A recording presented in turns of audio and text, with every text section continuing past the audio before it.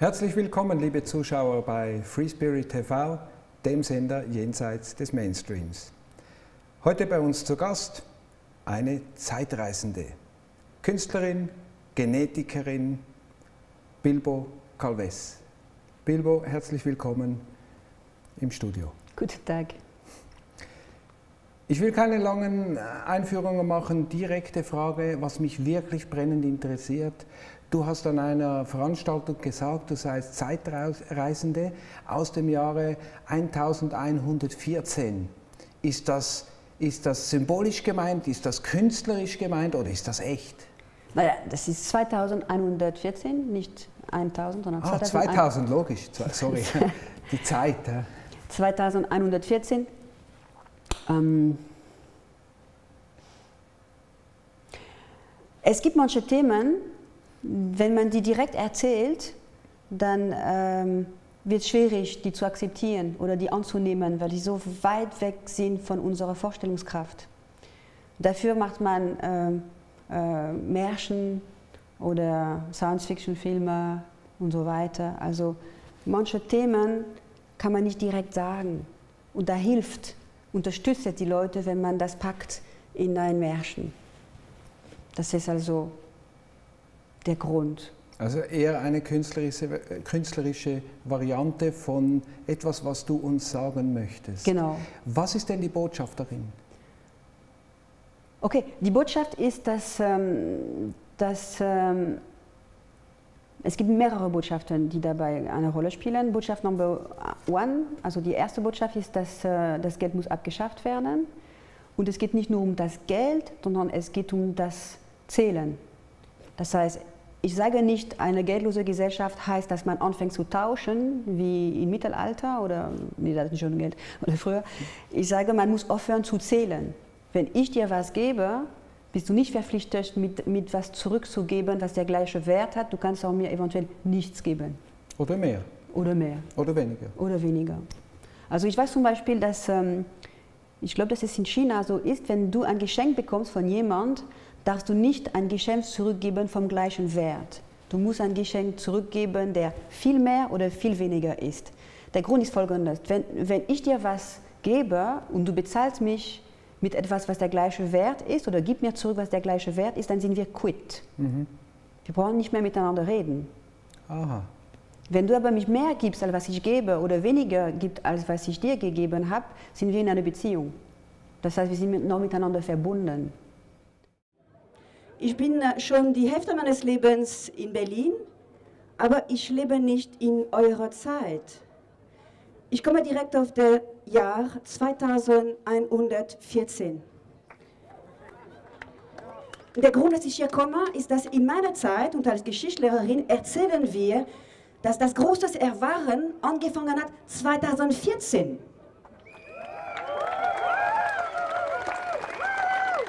Und es war mir wahnsinnig wichtig, dass der Ursprung davon zu sehen, was sind das für Menschen in unserer Welt, gibt es keine Regierungen mehr. Deswegen das Problem der Farben hat sich erübrigt.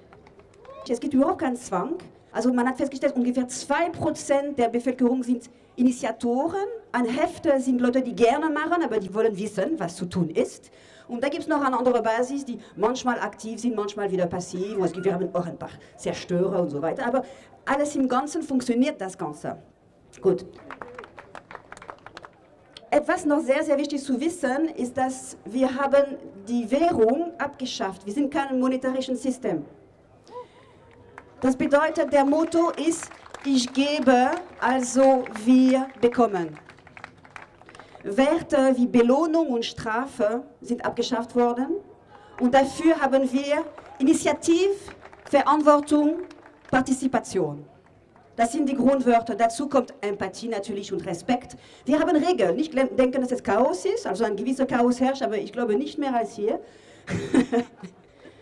Ihr müsst wissen, dass wenn man kein Geld hat, muss man gar nicht so wahnsinnig viel arbeiten. Also man kann viel Kunst machen, man, kann viel, man hat viel Zeit für Kultur und andere Geschichten. Als Reaktion gab es eine Spam-Attacke weltweit von Kindern, die alle überall wahnsinnig sweete Videos gepostet haben mit ihren Tieren, mit irgendwelchen Bildtieren. Wir wollen nicht mehr, dass Fleisch konsumiert werden und dass man Tieren wehtut.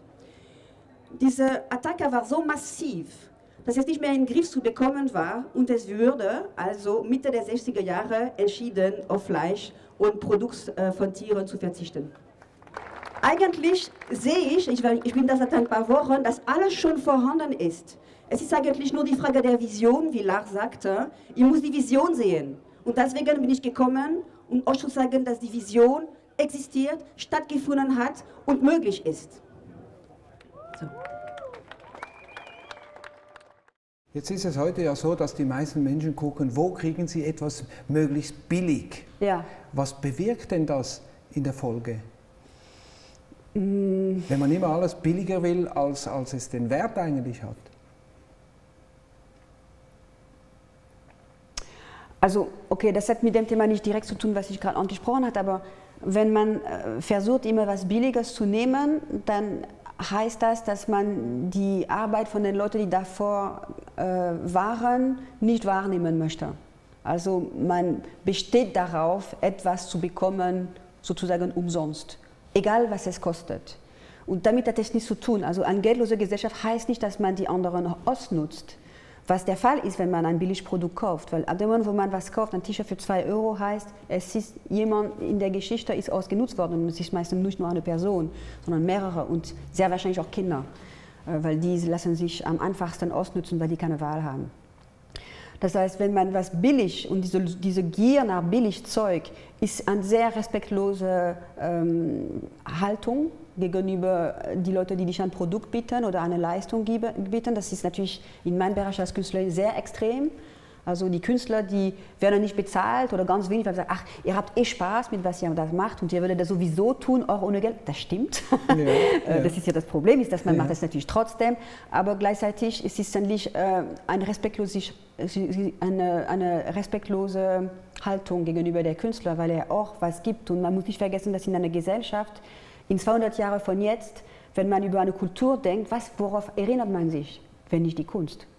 Und das heißt, das ist ja eigentlich ganz normal, dass eine Künstler äh, unterstützt und nicht die Staat sogar sollte die Künstler unterstützen, damit sie am Leben erhalten und, und wirklich würdelos leben können und nicht noch irgendwie äh, an der Fabrik am Wochenende arbeiten müssen, damit sie Kunst machen können. Die müssen natürlich komplett äh, unterstützt werden, weil die sind richtig wertvoll für die Zukunft und auch weil sie in der Gesellschaft was verändern können.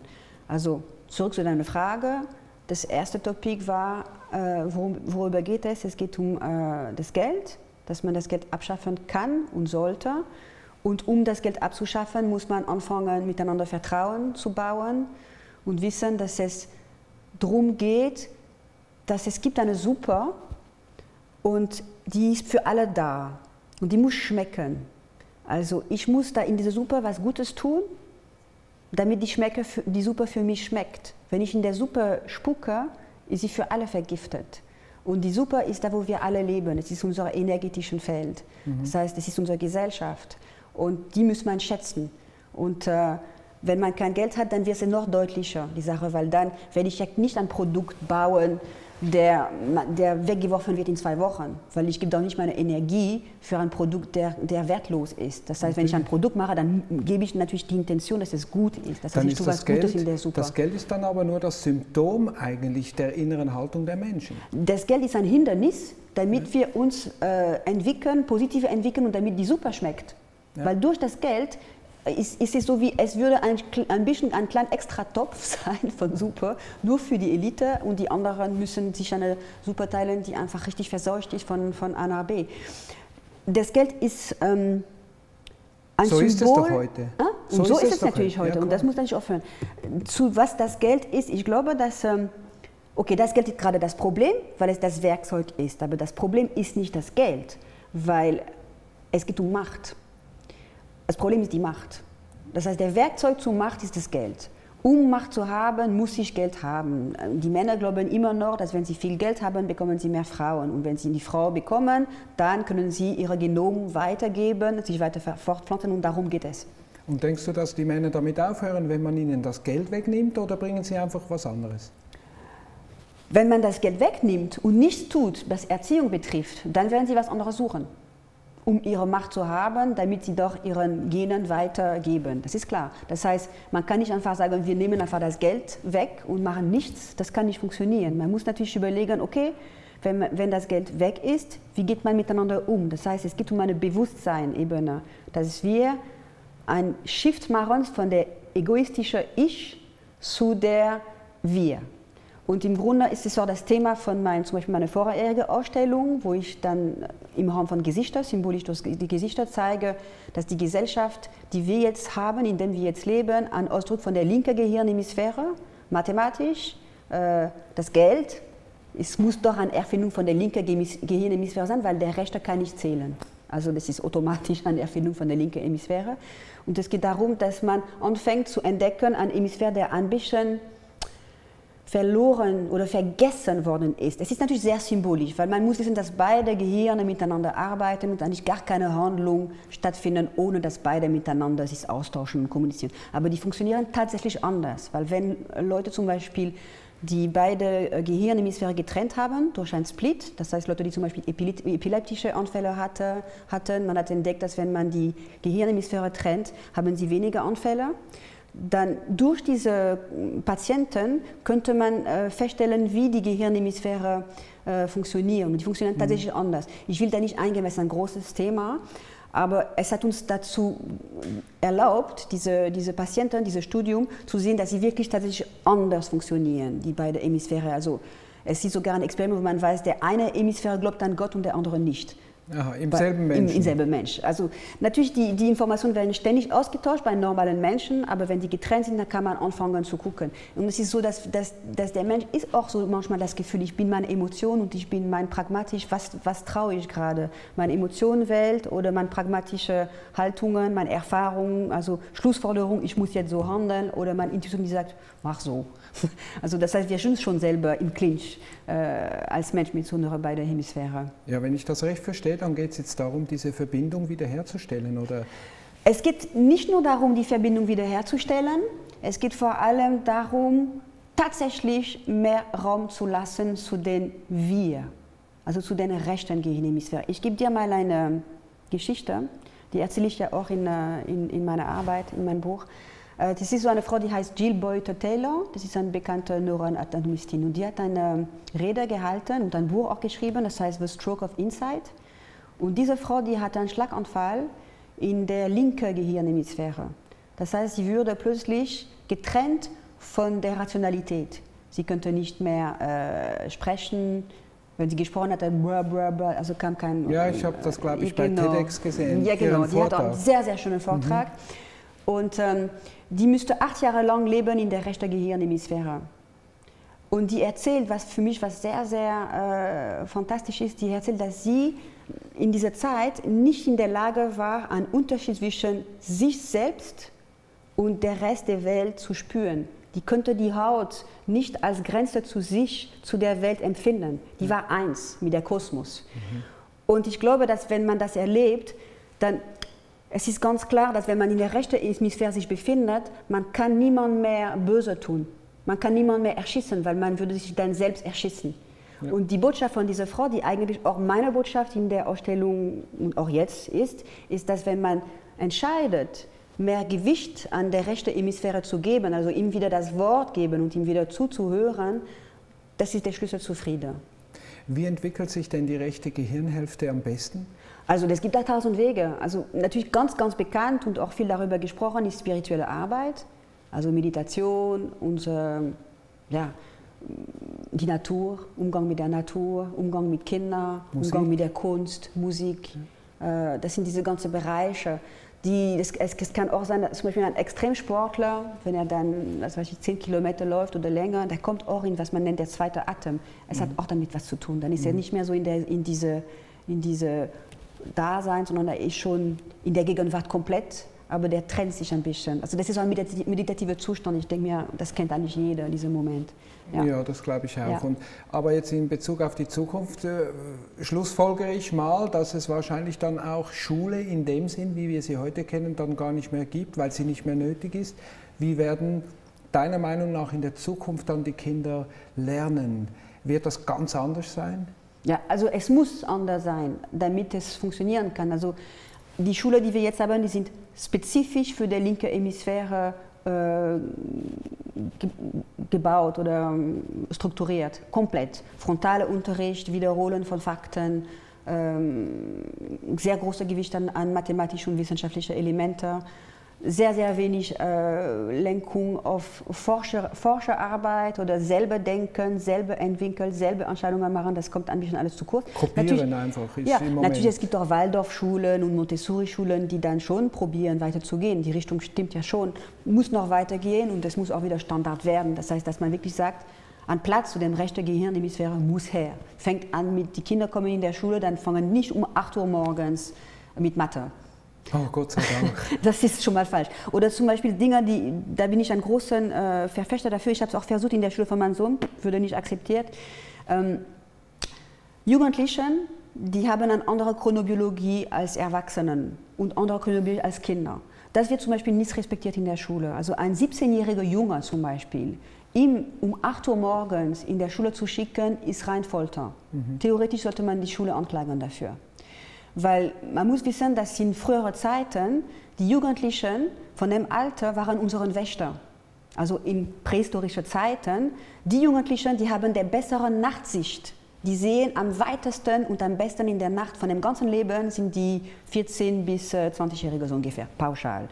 Und äh, das heißt, individuell kann es eigentlich schon anders sein. Das heißt, diese Jugendlichen, die, die, die haben die Ware gehalten nachts die sind geblieben, damit da zu gucken, dass kein, kein wildes Tier kommt und, äh, und alle Menschen umbringt, die da, die da leben. Und das waren deren Grundaufgabe, die Jungs. Und diese, deswegen sind also die Jungs so ein Problem in der Pubertät, in der Schule. Das ist ja kein Zufall, weil die raubt man den Schlaf, den sie brauchen, weil um, äh, um, sie würden theoretisch um 4 Uhr morgens, 3 Uhr morgens vielleicht ins Bett gehen oder vielleicht sogar noch später. Und diese Kinder, die sagen man, nee, du stehst um 6 Uhr auf. Das ist die Zeit, wo er ins Bett geht. Das genau so habe ich das empfunden, ja. damals als Kind. Ja. Das war grausam für mich. Ich arbeite auch heute noch am liebsten nachts. Ja, ich auch. Ja. Und da kommt noch eine zweite Sache, die, deswegen diese, diese Schule frühmorgen ist ein Skandal, ist, dass unsere Künstler und unsere Denker sind sehr oft Nachtmenschen. Warum? Weil eigentlich die Nachtmenschen sind oft Leute, die recht Hemisphäre dominant sind. Ich weiß, dass diese Begriffe sind verpönt und so weiter, aber ich bin Künstlerin und ich gebe mir einfach das Recht. Du hast die so künstlerische Freiheit. Genau. Also, und, und, äh, und diese, diese rechte Hemisphäre ist nicht so, so extrem formatiert und nicht so linear. Der ist mehr assoziativ, das heißt, man springt von Gedanken. Das ist eigentlich schon eine künstlerische, die, die, künstlerische Seite vom Gehirn ist schon die rechte Seite. Und das würde sogar ein Wissenschaftler zustimmen in dem Fall. Und, und, das gilt dann für Männer und Frauen Natürlich, gleich, wir haben ja? beide äh, zwei Hemisphäre. Ja. Also es gibt ja keinen Mensch, der nur eine hat oder vielleicht. Das können wir, ich glaube sogar, dass wenn man mit sieben oder unter sieben Jahre alt ein Gehirnhemisphäre verliert, dann wird es komposiert und man kann es trotzdem leben. Das mhm. heißt, es könnte funktionieren. Aber die meisten Menschen haben zwei Gehirnhemisphäre, die Männer, die Frauen, äh, die LGBT, alle. Und die Frauen sind also dann auch lieber nachts, also die Jungen, die Mädchen, wie bei den Jungs, die würden auch besser? Ähm, das Ding ist, dass, okay, man, natürlich, man weiß ja nicht, wie genau was passiert ist. Das ist ja lange her und wir haben keine Zeuge, der da in der prähistorischen Zeit gesessen hat und geguckt hat, wie die das machen. Aber es scheint, dass es eher die Männer waren, die die, die, die Ware gehalten haben, als die Frauen. Aber die Mädchen haben das auch, aber nicht so intensiv. Und es ist auch so, dass in den Schulen das Problem der Jugendlichen, die plötzlich ganz schlecht in der Schule werden, die sind oft die Jungs. Mhm. Die Mädchen haben es deutlich weniger. Darum denke ich, aber es ist wirklich eine Vermutung, dass die Mädchen äh, diese Rolle weniger äh, nehmen müssten als die Jungs. Da müsste man natürlich einfach eine Nachtsichtbeobachtung machen, ob die Nachtsicht bei Frauen in dem Alter auch so besser ist als Frauen in deren gesamten Alter oder ist es nur bei den Jungs so extrem die Unterschied? Das müsste man einfach forschen. Was wäre denn, wenn 2114 gar kein künstlerisches Projekt, sondern Tatsache gewesen wäre? Ähm, es ist vielleicht sogar Tatsache. Ich meine, man muss gucken, dass der Univers ist, ist unendlich und mittlerweile geht man davon aus, dass vielleicht die Realität, die wir haben, in ganz vielen verschiedenen Formen überall ist. Und ich mag, weil es ist einfach, einfach schön als Gedanke zu glauben, dass die Zukunft, die entscheidet sich jede Sekunde. Und dass es eigentlich Milliarden von Versionen von Zukunft gibt, jede Sekunde. Und dass es endlos ist und dass jeder Mensch macht seine Realität Und das heißt, deine Realität und meine Realität sind ja eh nicht die gleiche Realität. Also worauf du dich erinnert in einer Stunde, ist nicht das gleiche wie ich, obwohl wir zusammen waren. Das heißt, wir leben tatsächlich irgendwie getrennt und gleichzeitig zusammen. Und das kann sein, dass diese eine Realität, die ich da erläutert habe bei dieser ähm, vor der Brandenburger Tor, die ist wahrscheinlich schon auch existent. Warum denn nicht? Also ich weiß es nicht. Ich spiele gern mit solchen Gedanken, weil es einfach Spaß macht, aber ich, ich habe wirklich nicht diese, das, die Glaube, dass es so oder so ist. Ich sehe das eher so wie, man weiß es einfach nicht. Es gibt Mysterien, die man nicht einfach lüften kann und das Mysterium der Universum ist einfach nicht zu lösen. Bilbo, ja. du bist also eine Mystikerin, so gesehen. Und wenn es doch keinen Unterschied macht, letztendlich, ja. könnten wir einfach hier sein und nichts tun und es würde trotzdem das Richtige geschehen? Wenn ja oder wenn nein? Nee, das stimmt nicht. Wie, also ich glaube schon, das? dass jeder entscheidet und, und ist Verantwortung ist für seine Zukunft. Also ich glaube nicht an Passivität.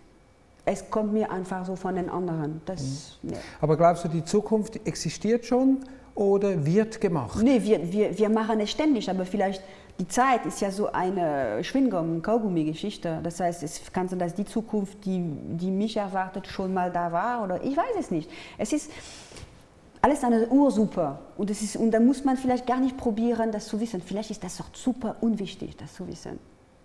Es geht, es geht gerade, okay, jetzt lebe ich in diesem Spiel, also ich bin Experimentmensch gerade. Okay? Ich lebe in diesem Experimentmensch und äh, das sind so die Situationen, die sind so und so. Und dann gucke ich, aha, äh, was würde mir gefallen? Was kann ich jetzt machen? Und äh, wenn ich das machen kann, dann warum mache ich das nicht? Also mache ich das. Ist denn die Lage dann wirklich so ernst, wie sie gerade scheint? Also was der Planet betrifft, ist sie natürlich extrem ernst. Ich glaube, dass die Leute das sehr stark unterschätzen, wie ernst das ist. Das heißt, wir müssen wirklich etwas tun. Ja, ja, ja. Was würdest du empfehlen? Also erstmal kommt, man beginnt damit mit diesem Bewusstsein, dass es ernst ist, dass, äh, dass man nicht der Schuldige suchen muss die ganze Zeit, dass wer schuld ist, ist gerade gar nicht Thema. Also guck mal, wenn ein, wenn ein, ein Unfall ist, dann erstmal guckt, guckt man, wie man die Leute da helfen kann und nicht, äh, wer hat Schuld verursacht? Das macht die Polizei. Mhm. Aber die Menschen, die da sind, die versuchen erstmal, und sogar die Polizei, die würde erstmal gucken, dass man die Leute hilft, bevor sie sagt, allerdings ist der schuld oder er schuld. Er ist schuld, also dann helfe ich denen. Das macht man ja nicht. Also, das ist, also ich glaube zum Beispiel, dass diese Faktorsucherei, wer hat das was gemacht und sich damit beschäftigen, ist nur interessant, damit andere Menschen bewusst werden, dass es tatsächlich schlimm ist. Aber ab dem Moment, wo man kapiert hat, dass es schlimm ist, dann braucht man sich nicht mehr über die Schuldigen zu kümmern, die sind ja auch Menschen, die haben auch ihre Geschichte, die sind auch nicht böse.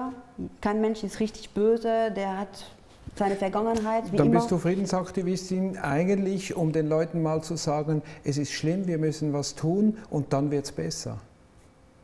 Dass sie die Verantwortung übernehmen. Ob das besser wird, das weiß ich nicht, weil man kann es probieren. Also es wäre es wär sinnvoll, es zu probieren. Es ist gerade so, dass es geht um... Äh, es geht nicht nur um uns Menschen, es geht um wahnsinnig viele Tiere, es geht um, um wilde Tiere, es geht um Bäume, es geht um Wälder, es geht um die Schönheit von diesem Planet.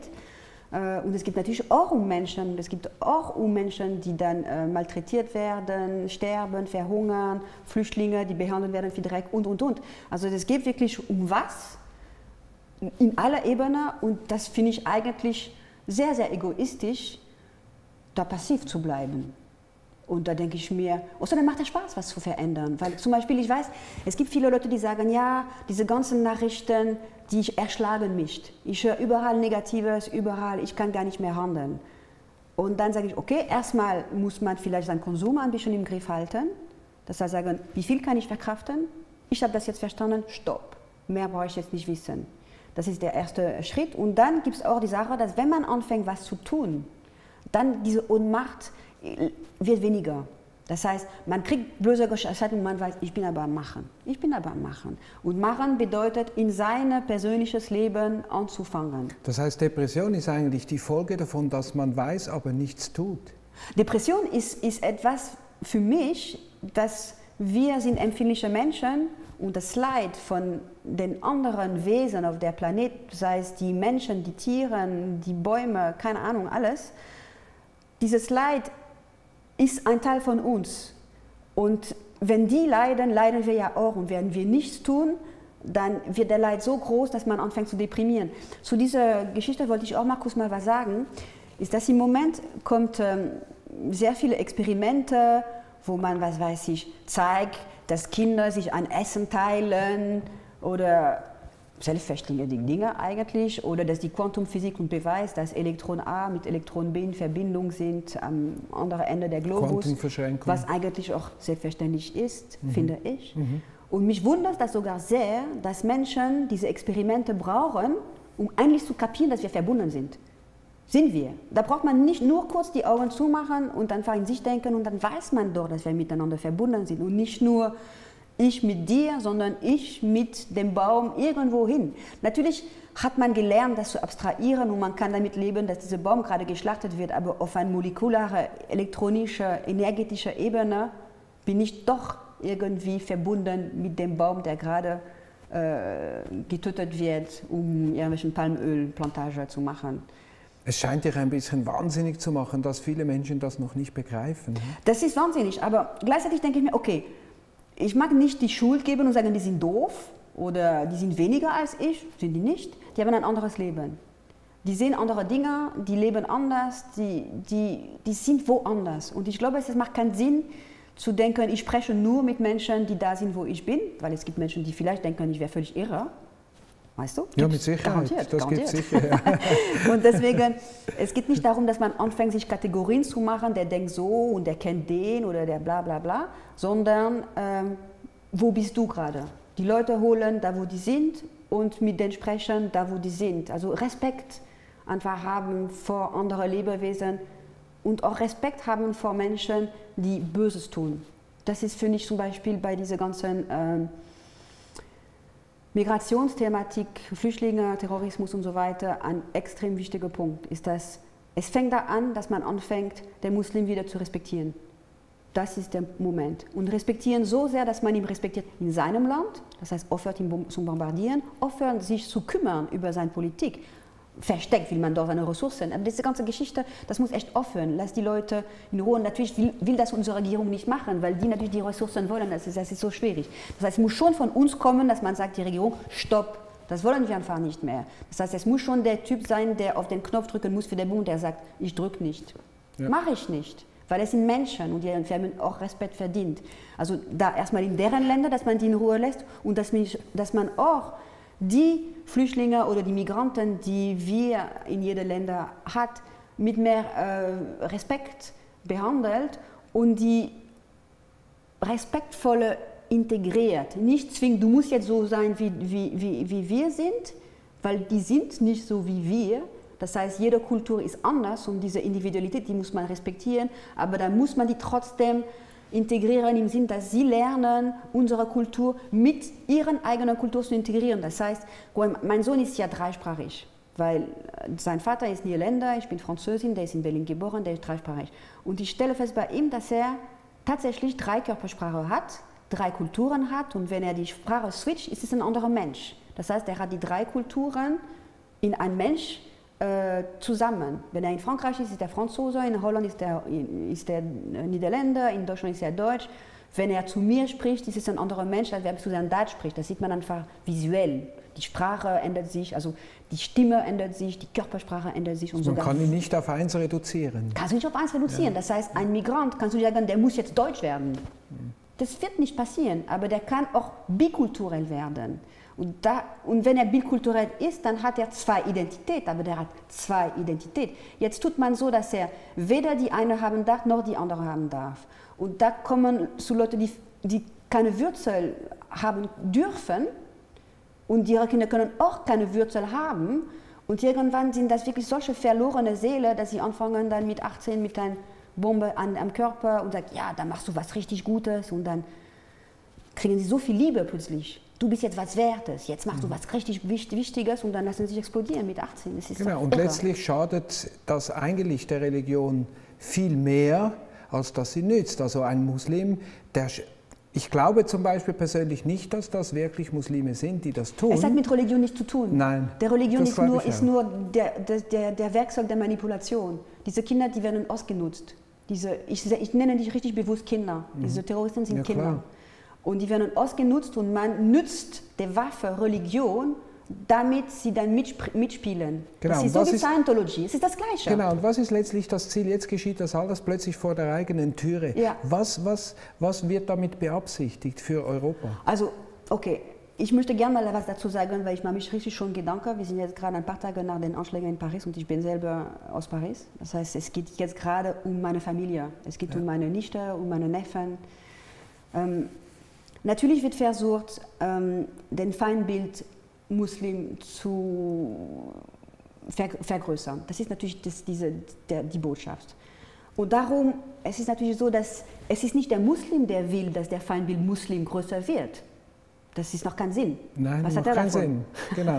Also das Kind ihm geht so vor, und möchte nicht, dass man ihn noch mehr hasst, als er schon gehasst wird.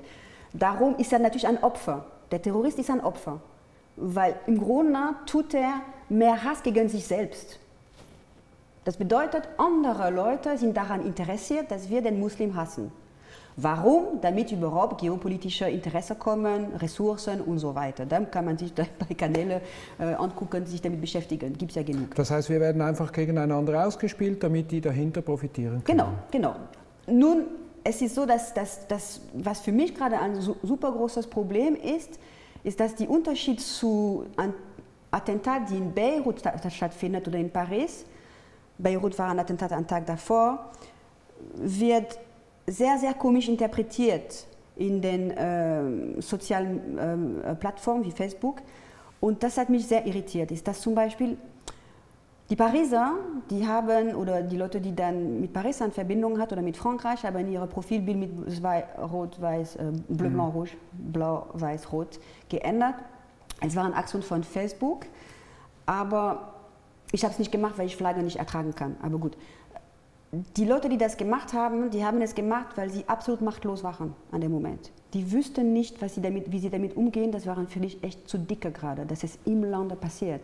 Es ist anders, wenn es im Land passiert, als wenn es im Libanon passiert. Es ist für uns als Berliner, äh, Wiener, Syriker, also ich weiß nicht, ähm, es ist auf alle Schweizer. Fälle für, Schweizer ist Ja. ein bisschen anders, aber für, für, die, für die Berliner oder für die Pariser, wenn es in Paris passiert, weiß man, es wird auch in Berlin passieren. Ja. Das heißt, es ist indoors. Es geht jetzt um meine eigene Familie, Freunde, Umgang. Und es ist ja ziemlich logisch, dass man sich erstmal mehr betroffen fühlt. Ich bin auch mehr betroffen, wenn, wenn die Katze von meiner Nachbarin stirbt und mehr als wenn die Katze von irgendjemandem in Charlottenburg stirbt, den ich nicht kenne.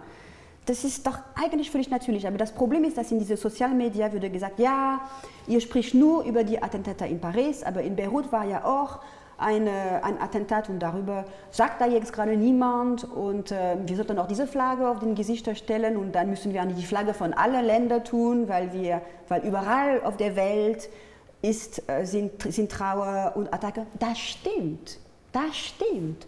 Aber es geht ja gerade darum, dass die Leute versuchen, sich solidarisch zu unterstützen in einem Moment, das der betrifft direkt. Also es geht darum, dass im Moment in Paris die Jugendlichen treffen sich nicht mit äh, Ça va, wie geht's dir, sondern Ça va, hast du jemanden verloren? T'as perdu quelqu'un. Das ist ein riesen Unterschied gerade. Die Jugendlichen treffen sich wie Hast du jemanden verloren? Und die Leute drumherum, die wissen, kannst du dich erinnern von der Frau sowieso? Ja, Tochter, war leider dabei. Darum geht es im Moment. Und in diesem Moment finde ich das nur normal, dass Leute ihre Profilpic... Sorry. Also du bist direkt betroffen und ähm, die andere Seite kann natürlich auch sagen, dass viele Menschen glauben, wenn sie das Profilbild ändern, dann haben sie etwas getan. Auch wenn es sinnlos Ja. ist. An dem Moment haben sie es probiert und die haben auch was gemacht. Mhm. Ist das für die Franzosen gerade, diese Profilbilder? Ich, wie gesagt, ich mache nicht mit, weil ich sowas nicht mache und ich sehe auch schon die Manipulation, die da entsteht durch Angstschüren und so weiter. Ich sehe das. Aber ich sehe auch, dass die Leute versuchen, Empathie zu zeigen und zu sagen, wir sind da, wir verstehen dich, wir verstehen, was passiert. Und es ist natürlich so, warum hast du es nicht verstanden mit den Leuten in Libanon? Ja, Mann Gott, ich kenne niemanden in Libanon. Ich kenne keine Sau. Ich war nie dort. Aber ich bin in Paris aufgewachsen. Und meine Neffen und meine Nichten und meine Eltern und meine Geschwister, die wohnen alle da. Und ich habe ein großes Teil meines Lebens da gelebt. Das ist anders, sorry, bin ich egoistisch? Nein, Pech gehabt, ich bin egoistisch. An dem Moment betrifft mich das mehr. Es betrifft mich mehr, weil ich auch weiß, dass es jetzt vor die Tür steht. Ich weiß, dass es Krieg heißt. Wir sind jetzt im Krieg. Und das betrifft mich schon mehr, als wenn der Krieg woanders passiert. Sorry, das ist politisch nicht korrekt, aber ich kann es nicht ändern. Äh, hier muss keiner korrekt sein, Ja. aber echt und wahr. Und Ja. das bist du gerade. Was Ja. mir auffällt, ist, vielleicht dient das letztendlich zum Positiven, weil wenn das die Herzen endlich auch hier in Europa zum Aufbrechen bringt, Ja. Geschieht die Realisation Genau, viel schneller. genau. Oder? Das Positive natürlich an dieser Kritik mit den Flaggen, und das sehe ich natürlich auch, ist, dass die Leute haben sich damit beschäftigt, dass es wirklich überall Gewalt ist. Ich fand das teilweise richtig gemein, weil es gab wirklich diese, die Franzosen haben als, als Kolonialisten so viele tausende Leute und da in Syrien so viel. Ich sage, ey, lass mich in Ruhe damit, okay? Wir wissen, wir sind alle blu- blutige Hände auf diesem Planet, also entspann dich. Also nicht alle, aber die meisten von uns. Und deswegen reicht es. Aber trotzdem, was ich interessant fand, ist, dass durch diese Kritik dann viele Leute sagten, ja, da ist auch Leid und da ist auch Leid und das Erde schma- äh, überall und wir müssen was tun. Das fand ich das positive Aspekt. Nun, was ich heftig fand, ist, dass man müsste schon ein bisschen die Zeit lassen an den Müttern, die gerade ihre Kinder verloren haben. Und den noch akzeptieren, dulden diese Machtlosigkeit von den Leuten, dulden, dass sie hilflos sind und irgendwie zeigen wollen deren Empathie. Das muss doch geduldet werden, dass man machtlos ist und nicht weiß, wie man Natürlich, helfen kann. natürlich. Und das wird gerade kritisiert und das hasse ich. Und ich werde jetzt was super Gemeines sagen, okay?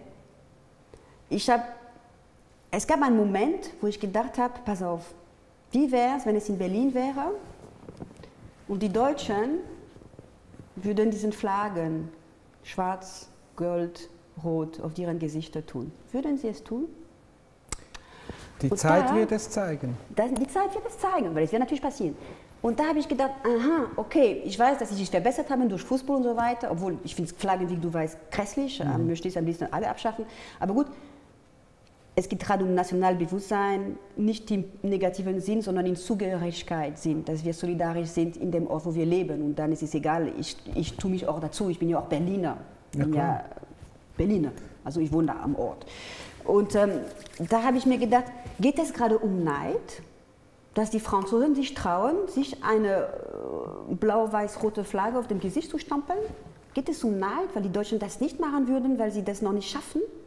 Und deswegen ist dann diese, ja, aber die Franzosen haben das gemacht und das gemacht und das gemacht und das ist Doppelmoral und das sollen sie nicht tun und so weiter. Diese Frage hatte ich. Es ist eine ganz gemeine Frage, aber die hatte ich schon. Ja, letztendlich wird die Zeit zeigen, dass die, die verurteilen, wenn sie in derselben Situation sind, trotzdem genau gleich reagieren.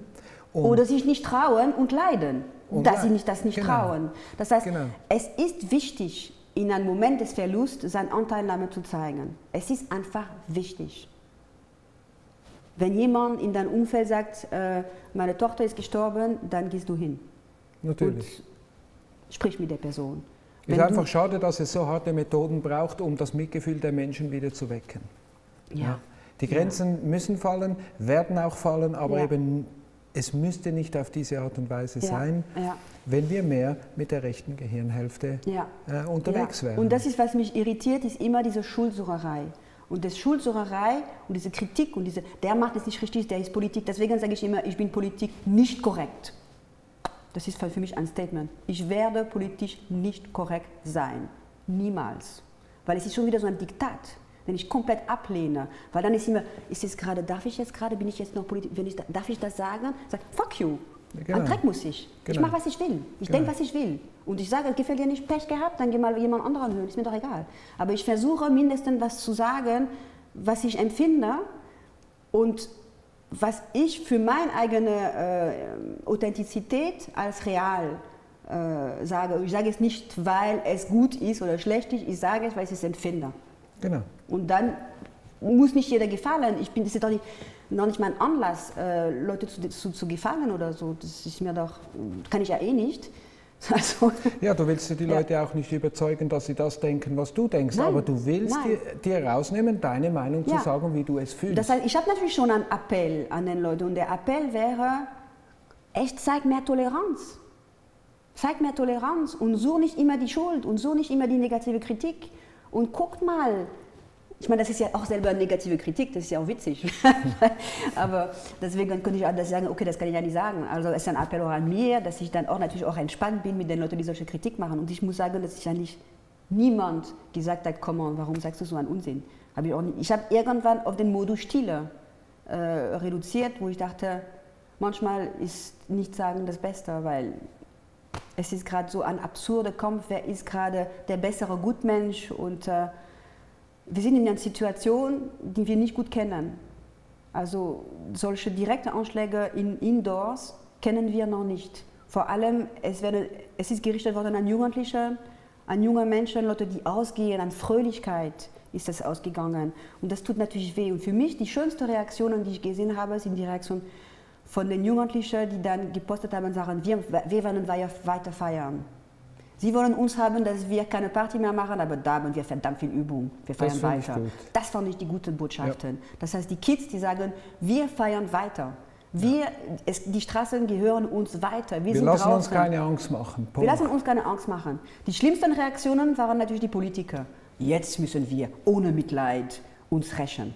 Das ist, das ist kriegt naja, fast. Die, ne? die, große Gefahr ist ja jetzt, dass das Militär übernimmt. Und genau. das ist ja genau das Ziel. Und da sind die Menschen gefragt, nicht gehorsam zu sein.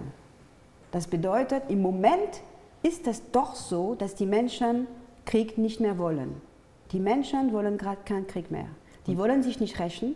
Ich kann mir sogar vorstellen, dass eine Mutter, die ihr Kind verloren hat, in zehn Jahren sich äh, investiert in der Arbeit mit, äh, mit Flüchtlingen und Migranten. Sehr gut möglich. Ja. Aber also jetzt, so als Bearbeitung. Ne? Jetzt, jetzt gerade, nicht, jetzt ist in der Trauer. Jetzt wird Widerstand zur Pflicht.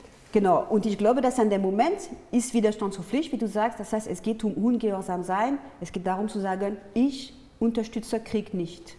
Und das könnte auch so weiter sagen, dass ich sage, ich bezahle keine Steuer, solange dass ich nicht weiß, wo meine Steuer hingehen. Das heißt, ich bezahle Steuer für äh, Gesundheitswesen, dies und das, für Krieg nicht.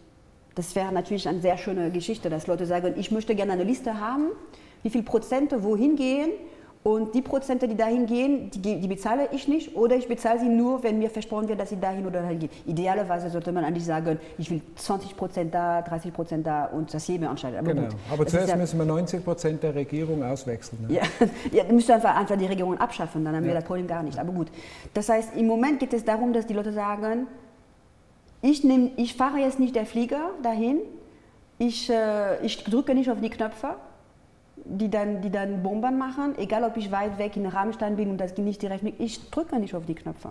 Ich gehe einfach nicht hin. Ich lasse den Job, ich verlasse den Job, ich tue etwas anderes.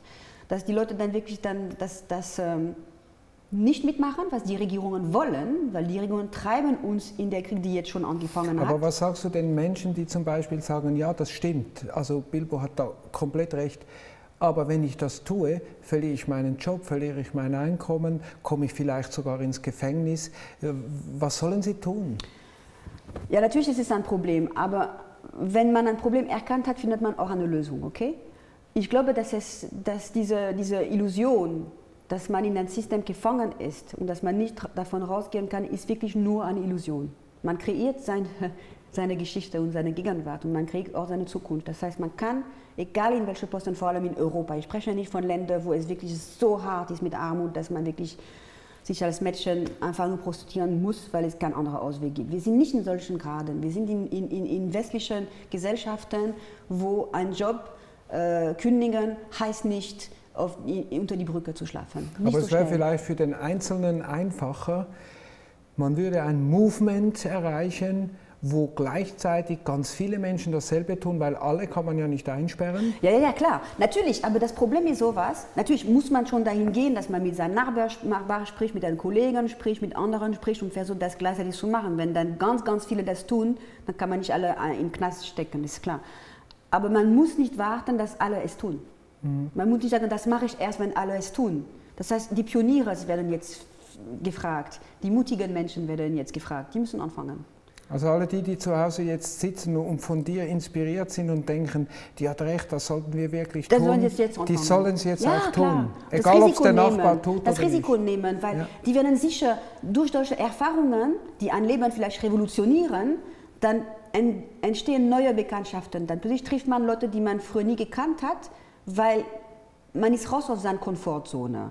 Und dann plötzlich man da und denkt, ja, ich mache das auch so.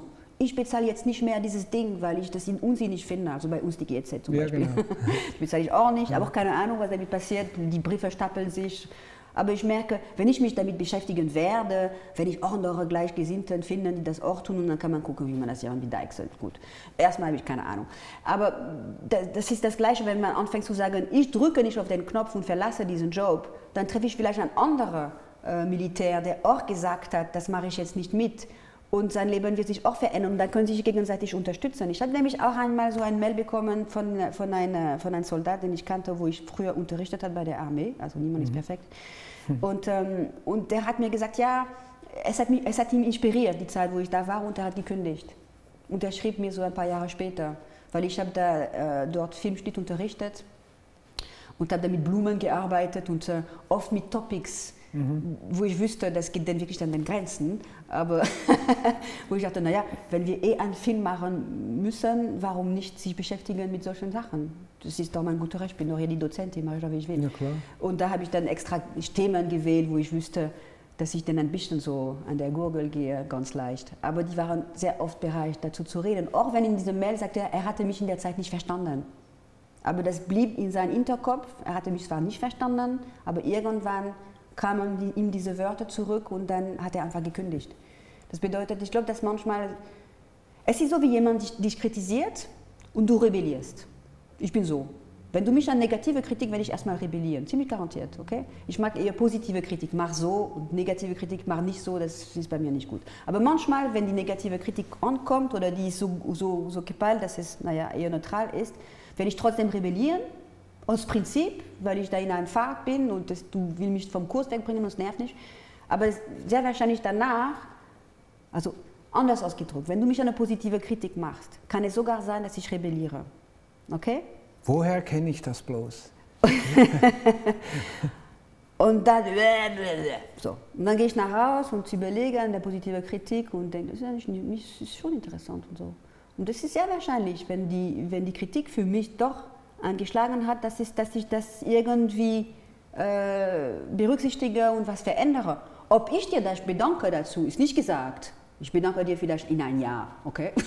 Ja, ja, Für die Unterstützung. Ja. Ich kenne das sehr gut. Also aus Prinzip lässt man sich mal nicht sagen, selbst wenn man schon dann weiß, der hat eigentlich recht. Aber es ist ja auch nicht wichtig, man nimmt es mit. Ja. Und du wirkst ja eigentlich wie ein, eine Bäuerin, die ihre Samen überall hinschmeißt und sich kräftig reindrückt. Und dann mal gucken. Und tschüss. Ja, und tschüss. Genau. Und tschüss. Manche Samen werden dann aufgehen, manche nicht. Wenn eine aufgeht, ist sie sowieso schon mal so ein gewisser Erfolg. Also Erfolg nicht im Sinn von was erreicht haben, sondern von was Positives für sich.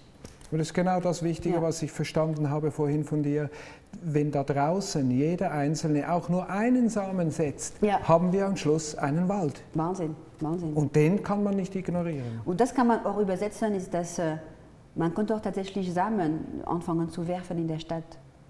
Verstehst du? Ja, Das überall Blumen. Überall.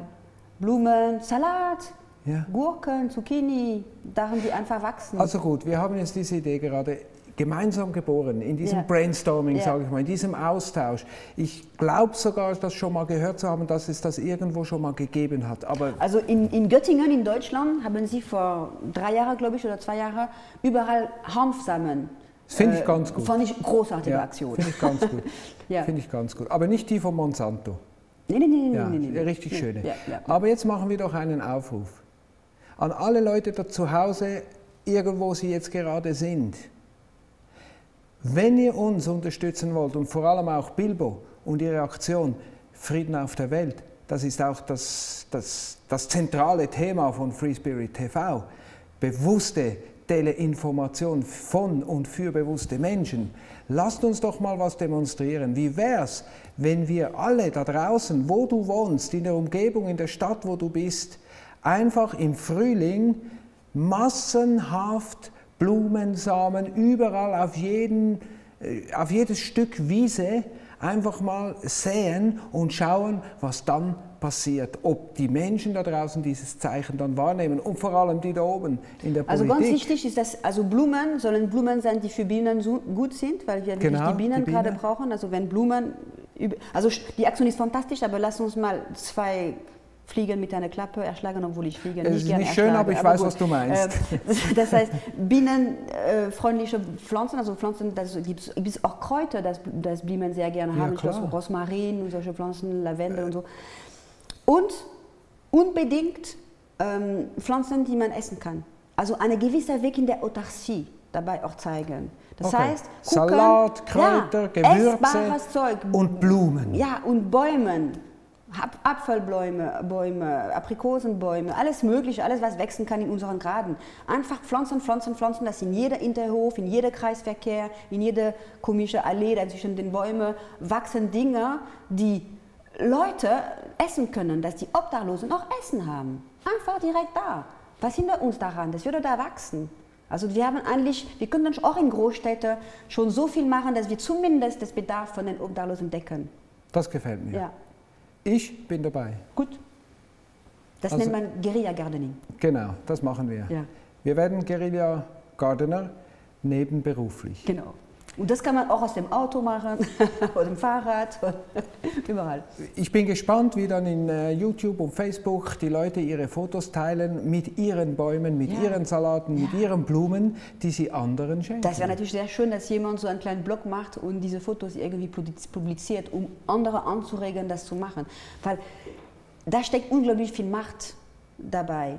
Also es geht wirklich um Essen und es wird versucht, uns an unser Essen ranzugehen. Es wird versucht, an unseren Wasser ranzugehen. Es wird versucht, an unsere Lebensräume, an unseren Grund. ähm, naja, vergiftet wird ja schon alles. Genau. Und deswegen, es ist wirklich wichtig zu, zu zeigen, ja, da können wir auch direkt etwas tun. Und das sind so ganz einfache Schritte, die man da machen kann. Die Revolutionäre sind wie Unkraut, man kriegt sie nicht weg.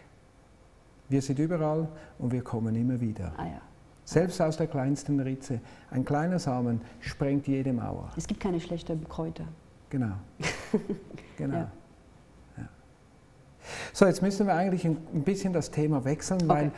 du hast so viele spannende Bereiche und ein zweiter Bereich, der mich extrem interessiert, ist diese Asymmetrophobie. Dazu hast du ja hier ein fantastisches Buch gemacht, das finde ich schon eh cool, wenn da steht zum Beispiel, ich muss das mal kurz zeigen, da steht Public, aber es ist doch Private. Also das ist schon mal, schon mal die erste Asymmetrie eigentlich, wo man denken muss, ist es jetzt public, öffentlich oder ist es privat? Erzähl uns ein bisschen was zu diesem Werk. Okay, also erstmal das Wort Asymmetrophobie heißt Angst vor der Asymmetrie. Aha, Okay? spannend. Angst vor der Asymmetrie. Das muss man sich eigentlich über den Kopf kurz mal. Nicht Angst vor der Symmetrie, sondern Angst vor der Asymmetrophobie. Ja. Vor der Asymmetrie. Also die Und- lieben Roboter. Hä? Die lieben die Roboter. Die, die Angst haben vor Asymmetrie, die lieben alles, was symmetrisch ist. Genau, genau. Die genau. Das heißt, diese. Konformität, Ja. das, das zu machen. Und natürlich in diesem Buch, alles, was wir sehen, ist symmetrisch. Also jeder Gesicht ist hier symmetrisch. Das heißt, ich, ich, äh, es ist so ein Hoch an der, an der Symmetrie, dieses Buch. Hochasymmetrophobisches Buch Mhm. Oh, oh. sozusagen. Jetzt wird es aber hochintellektuell. Ähm, das, das, ähm, die Schlüssel von diesem Buch ist, dass es ist, äh, jeder Mensch hat zwei Gesichtshälfte, so wie er hat zwei Gehirnhemisphäre, so ganz schnell. Rechte Gehirnhemisphäre, wir haben auch davor äh, oft gesprochen, also wir wissen, das ist der Künstler in uns und der linke Gehirnhemisphäre, das ist der mathematische Freak und das ist eigentlich unsere Gesellschaft. Das ist auch das Geld. Genau, das bist also du, die Genetikerin und die Künstlerin. Genau. Und das haben wir auch alle, manche so, so verteilt, eine mehr, mehr als die andere, je nachdem der Mensch. Ähm, da die Motorik von den Gesichtern äh, gekreuzt ist durch die Gehirne, das heißt, die linke Gehirnhemisphäre bewegt die rechte Seite von meinem, Gehi von meinem Gesicht und umgekehrt, okay? könnte man sagen, sage ich als Künstlerin, dass der Ausdruck von meiner rechten Gesichtshälfte ist der Ausdruck von meiner linken Gehirnhemisphäre. Okay? Das wäre zumindest logisch. Ja. Es ist natürlich so, dass die Augen, also gibt manche Ecke werden auch von beiden bewegt, bla bla bla. Also, Nasenflügel ja. Nasenflügel ja. und so. Das ist okay.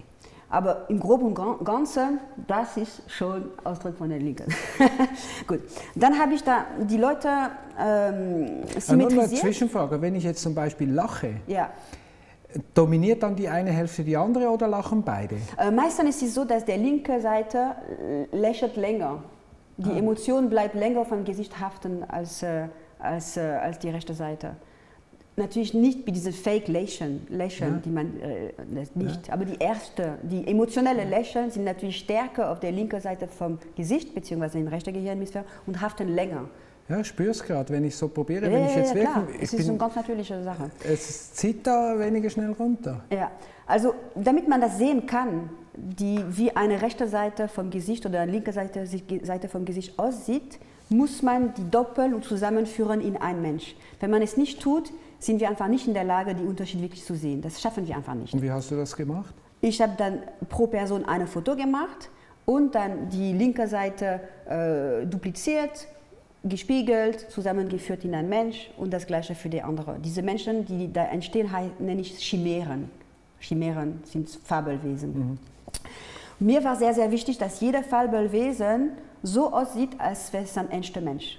Das heißt, dass, die, dass man nicht sieht, dass es äh, manipuliert ist. Das war mir sehr wichtig und deswegen steckt extrem viel Arbeit da drin. Ja, und wir werden auch ein paar ganz tolle Bilder einblenden, dass man das wirklich sehen kann zu Hause. Das sieht also aus wie echt. Ja, das war für mich ganz wichtig, dass es echt aussieht, obwohl ich die Klamotten nicht manipuliert habe.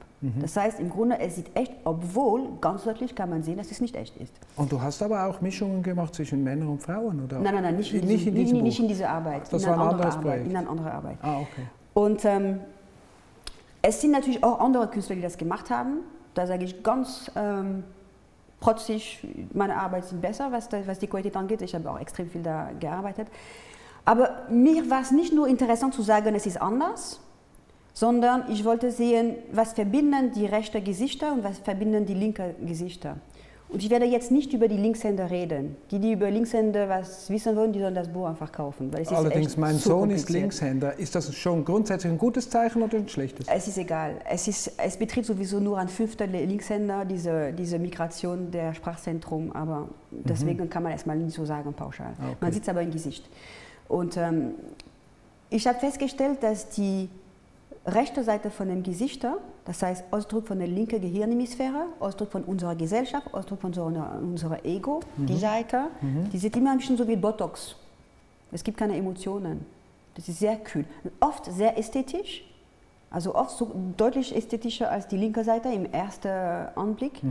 Und das ist, das ist die Reflexion von unserer Gesellschaft. Das ist der funktionierende Mensch. Der Mensch, der seine Steuer bezahlt, der einen Job hat, der funktioniert. Ja. Okay? Die linke Seite vom Gesicht, das ist die emotionelle Seite.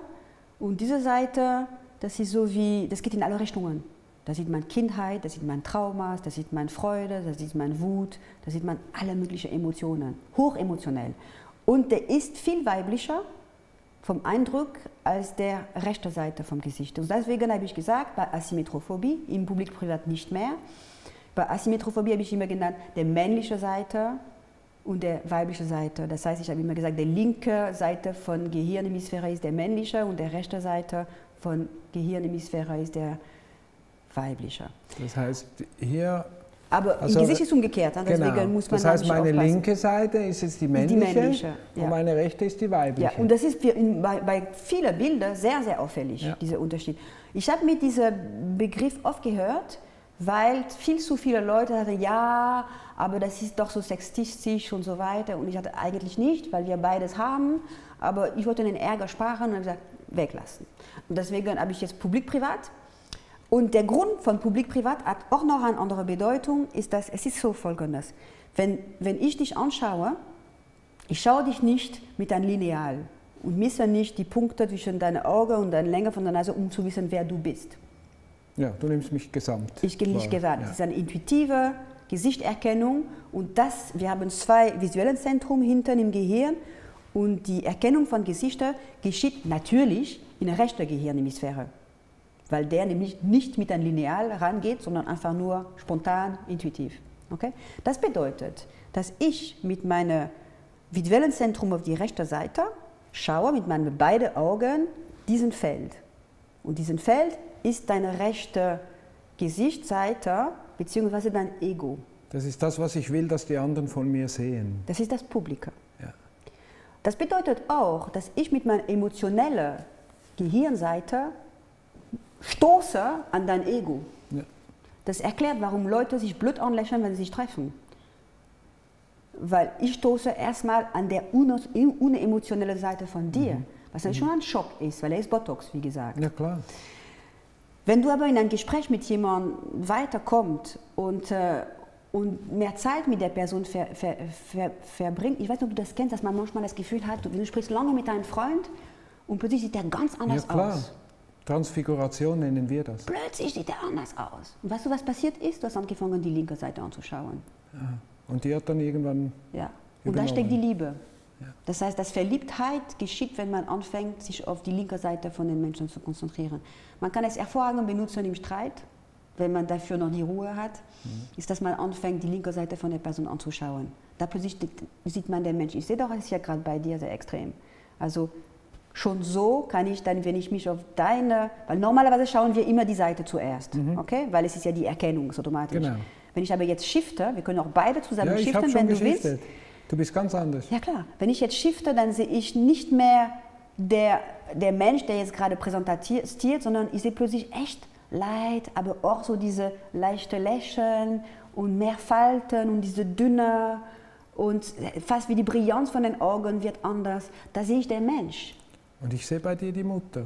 Ja, also das ist ja das Interessante. Du bist ja ganz sanft, du bist ja gar nicht so, wie du tust. Ja, weil wir gucken immer die Seite. Wir gucken die männliche Seite. Wir gucken immer die männliche Seite. Das ist doch verrückt. Ist wir müssen lernen, wieder die weibliche Seite anzuschauen. Das heißt, wenn wir 20, 30 Jahre verheiratet sind und den anderen nicht mehr sehen können, bevor wir uns trennen, vielleicht zuerst mal üben, die andere Seite anzugucken. Ich habe jemanden im Buch, der Steve Morell, als er dann nach dieser Aufnahme zu mir kam, habe ich dann oft mit den Protagonisten Zeit genommen, denen zu zeigen, wie das etwa aussehen würde. So erstmal ganz pauschal. Mhm. Und äh, seine Freundin kam auch, die ist nicht im Buch, aber die, die kam auch. Und als er das Bild gesehen hat von ihr in der, in der, in der rechten äh, Gesichtsseite, hat er gesagt, das Bild will ich haben und ich will sie in meinem Portemonnaie immer dabei haben, weil wenn ich mir mit ihr streite, dann schaue ich mir dieses Bild und ich kann sie nur noch lieben. Das fand ich wunderschön. Ja. Also ich habe richtig bemerkt, dass, es, dass diese Arbeit, die Leute, also es war für alle Protagonisten fast therapeutische Arbeit, diese, diese Auseinandersetzung. Und äh, ich würde auch jedem Menschen empfehlen, das zu probieren. Aber da muss man wirklich sich die Zeit nehmen, das wirklich so genau wie möglich machen, weil sonst sind, entstehen einfach nur Monster und aus Monstern kann man nicht wirklich was sehen. Also es macht schon Sinn, die, äh, das wirklich Mühe, mit Mühe zu machen. Also du hast das wissenschaftlich akribisch genau gemacht natürlich, oder? Ah, ich bin unglaublich äh, äh, akribisch wissenschaftlich. Perfektionistisch. Perfektionistisch ohne Ende. Also ja. ich würde schon auch empfehlen, man sollte sich das Buch mal zulegen, um zu sehen, es ist wirklich auch wichtig, ja. dass das ganz gerade ist und man nicht irgendein Zombie nachher kreiert, ja, ja, ja. den man noch weniger lieben kann ja, als das, was schon da ist. Man muss auch wirklich an diese Leute glauben. Ich habe auch gemerkt in der Arbeit, dass ich habe wirklich mich richtig verliebt in sowieso alle rechte äh, äh, Seite von den Menschen. Am Anfang war ich immer beeindruckt von den Linken. Wow, wie ästhetisch. Und dann irgendwann, ach wie sweet und auch diese Schönheit, weil da sieht man die Kindheit, sieht man Geheimnisse, das hat so fantastisch viel Leben. Ich habe mich in alle verknallt. Das ist ja ein super Reflex, der geschieht eigentlich, wenn du das betrachtest, also jetzt die rechte Seite, ja. das heißt die Gefühlsseite, ja. dann triggert das in deinem Gehirn eigentlich auch die Gefühlsseite plötzlich. Ja, ja, ja, klar. klar. Ja? Ich habe auch in der Ausstellung, ich muss sagen, dass die Ausstellung Publik-Privat, die eine mobile Ausstellung, also an der Stelle, wenn ihr Galerien habt und die Ausstellung wollt, fragen. Ähm, diese Aber wir werden uns sehr bemühen, Sie in die Schweiz mal zu holen. Das ja, interessiert das schön, uns ja. persönlich schon. Also das war nicht an den Wänden, die Bilder. Das, das Buch ist so ein Bonbon. Das ist sozusagen ein Bonbon zu der Ausstellung, wo man Informationen hat, wie das Gehirn funktioniert. Es gibt auch Texte, wie es bei Linkshänder funktioniert und so weiter. Also was ich gerade erzählt habe, ein bisschen mehr detailliert.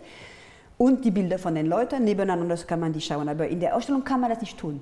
In der Ausstellung, die Bilder hängen in der Luft Und wenn du dann so in eine Richtung gehst, dann siehst du nur die rechte Seite von den Gesichtern. Und wenn du dich umdrehst, dann siehst du nur die linke Seite von den Gesichtern. Das bedeutet, du spazierst von unserer Gesellschaft, wie sie jetzt ist, bis in der Gesellschaft, wo ich gerne euch führen würde. Also von dort, darf. wo du herkommst. Genau. 2114. Genau, könnte man sagen. Ja. 2114 ist die andere Seite. Es ist so, dass die Leute, die da hängen, an der richtigen Höhe von, von, von, von sich selbst stehen. Also wenn jemand 1,90 ist, dann steht er auf 1,90 und sein Gesicht ist groß wie sein Originalgesicht.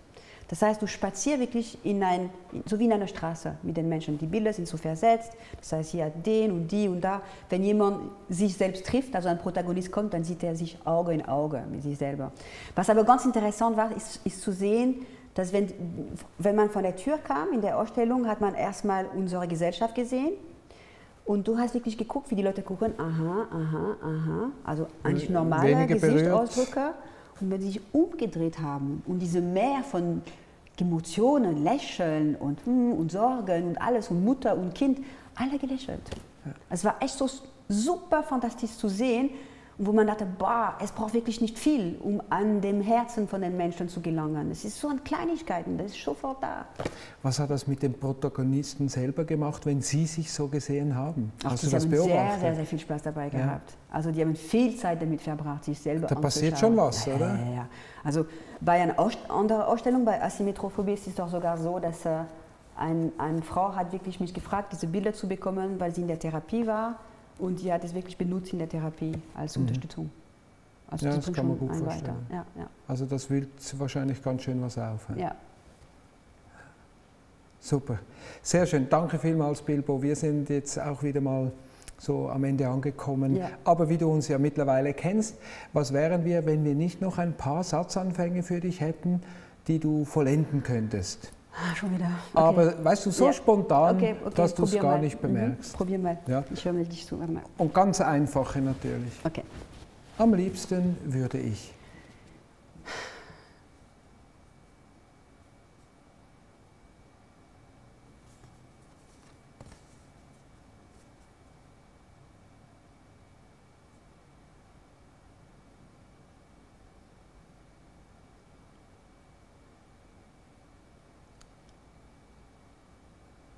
Danke. Nächste. Mein Leben ist. Jetzt, es, wird, es wird nur noch Stille sein, wenn ich dir.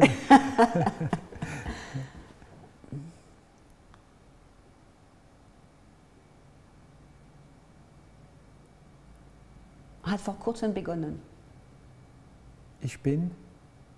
Auf der Suche. Kunst ist. Für mich einfach alles. Dann ist Politik? Ein kleines Übel muss man aber durch. Frieden ist? Da wollen wir hin. Frieden ist ersehenswert oder? Erstrebenswert. Erstrebenswert, mhm. nee, das ist doch zu dünn. Äh, Frieden ist einfach ein Muss. Frieden ist ein Muss? Ja. Okay. Ja. Und Liebe ist? Er gehört dazu die Schlüssel dazu. Also Liebe ist die Schlüssel zu Frieden und Friede ist ein Muss. Leben heißt? Die Friede suchen. Ah, Oder die Liebe. Super Schluss. Also die, die, drei, die drei Dinge, die interagieren miteinander. Genau. Ja. Wir werden es dann im Nachhinein, wenn wir es dann uns ansehen, bemerken, das waren die drei ja. Komponenten. Wirklich. Eine hast du vergessen. Nämlich? Vertrauen. Aha. Jetzt ist es da. Angenommen, du könntest eine Botschaft an die ganze Menschheit verbreiten, jeder Mensch würde die hören und du hast nur einen Satz zum Sagen. Was würdest du ihnen mitteilen? Beginne zu leben. Oder noch ein anderer. Genieße das Experiment, Mensch zu sein. Bilbo, ganz herzlichen Dank für die tollen Worte und das spannende Interview. Wir sehen uns wieder. Ja, ich danke dir. Dankeschön. Bis nächstes Mal. Danke. Liebe Zuschauer zu Hause, es ist mal wieder soweit. Danke fürs Zuschauen und fürs Wiedereinschalten, wenn es dann heißt Free Spirit TV, der Sender jenseits des Mainstreams.